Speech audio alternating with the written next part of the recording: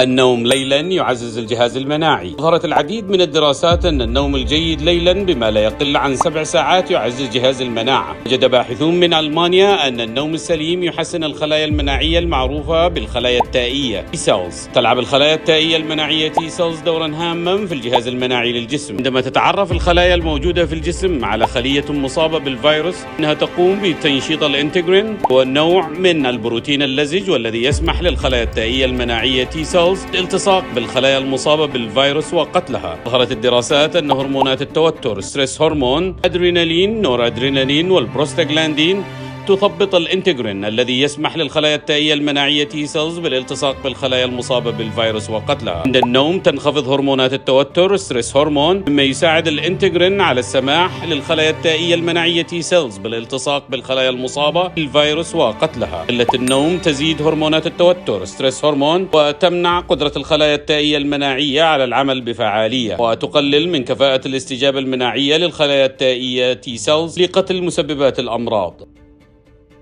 بسم الله الرحمن الرحيم. وجعلنا الليل لباسا وجعلنا النهار معاشا.